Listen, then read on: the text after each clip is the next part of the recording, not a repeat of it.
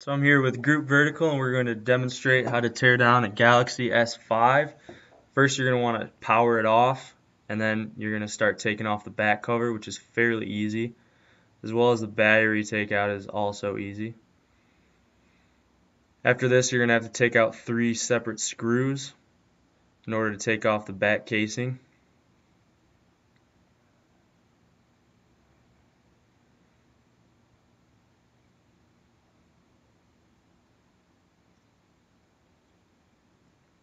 Once you do this, there's a little cover that is over a ribbon.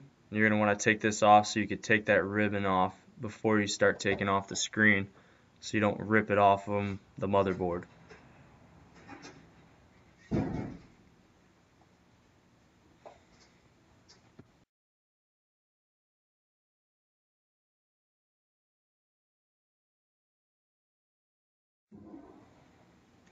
In order to take the screen off to to loosen up the adhesive, you're going to want to use a heating gun or a hair dryer. You're going to want to do this for quite a long time because it, it's on there very good and to avoid breaking your screen. As you're doing this, you're going to want to take some guitar picks or cards, whatever you can get your hands on, start prying it off. You want to make sure you start from the top. You don't want to pry from the bottom because there are some cables connected you could rip. Once you get the screen loosened up, there's going to be a ribbon on the right side close to the top. You're going to want to unhook that before you pull it off any further.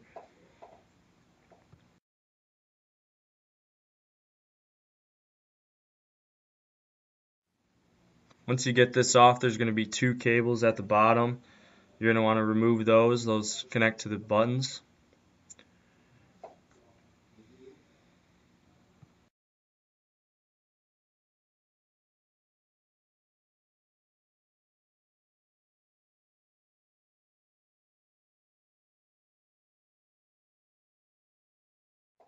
Once you get those removed and the screen off, you're going to have to take off 10 screws in order to get off the middle casing.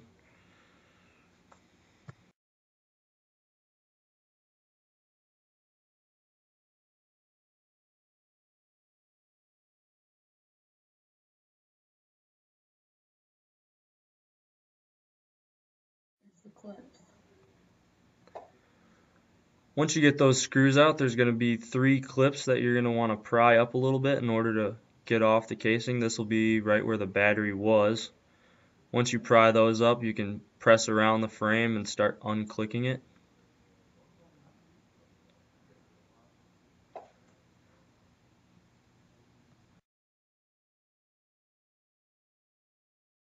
You may have to pry the, the three tongs up a little more in order to get it off completely. Once you do this, there's two screws that you're going to want to take off in order to take off the main motherboard.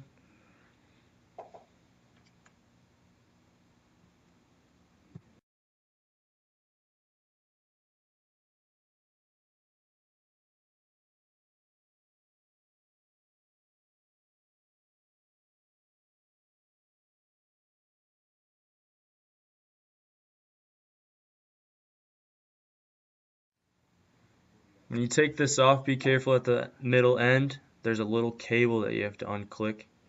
You don't want to rip that off from the frame. And that is the motherboard. On this motherboard are the front and rear cameras. There's a little ribbon that you'll have to unplug in order to take those off.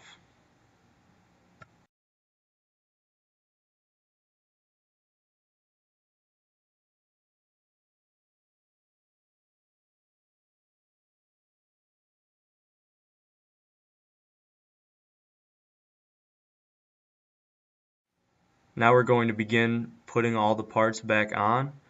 Just fairly simple. You just click on the connectors for the front and the rear camera.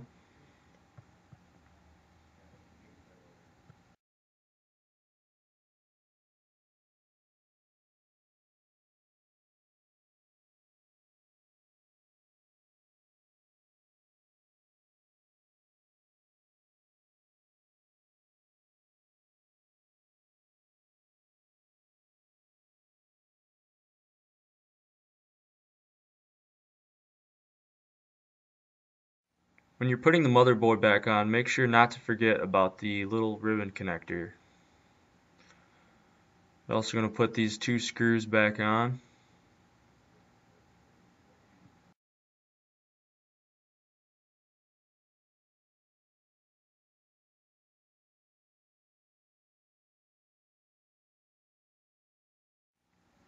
Now we're going to connect the bottom frame to the middle frame.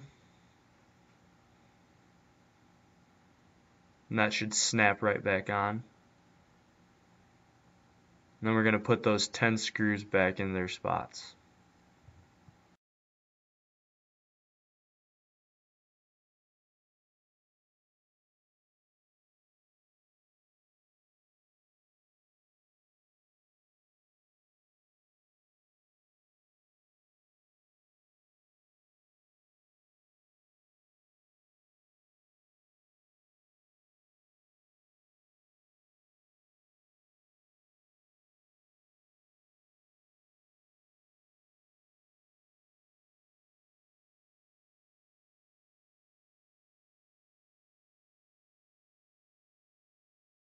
Now we're going to put on the front screen and when you're putting this in don't forget about the back cable.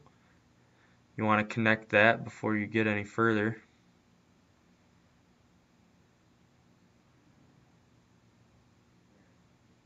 Once you get that connected, don't forget about the right middle side.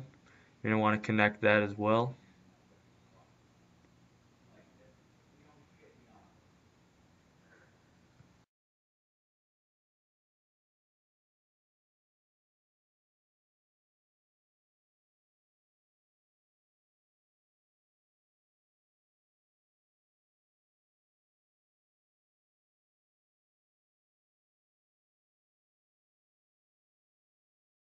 Also, do not forget to put on that final ribbon cover and then you can go ahead and snap on the back side of this phone.